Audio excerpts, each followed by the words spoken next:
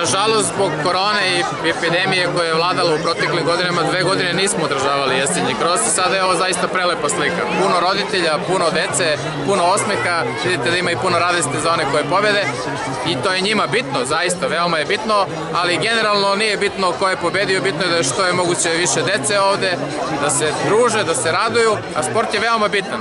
U sportu se radujete kada pobedite, ali nije ni malo beznačajno da deca osete malo i tugu ako izgube. To u današnjem životu kada smo previše zastitili decu i nije čest slučaj. S druge strane, sport neguje dete kao individu, ali neguje i kolektivni sport.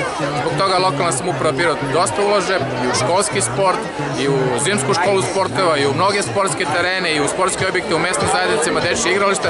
Jednostavno želimo da budemo grad po meri dece, da se deca ovde lepo osjećaju, da se roditelji lepo osjećaju, da su bezbedni da se bave sportom i da zdravo i lepo odrastaju.